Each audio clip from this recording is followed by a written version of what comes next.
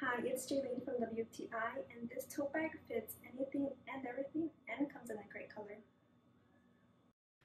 So one thing that I really love about this bag is that it's big enough to take with you anywhere.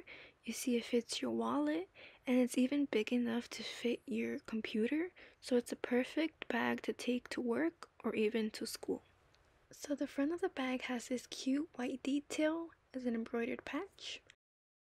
And you can see here the details that it has of the buttons. So it has a magnet closure and it has two side buttons. So you can see they're easy to button up and it offers extra protection just in case your bag falls. You can be sure that your items won't fall out. So here is what the bag looks like on and it'd be a great option for tall or short people. So if you're looking for a tote bag to take with you on your daily activities, I would highly recommend this one,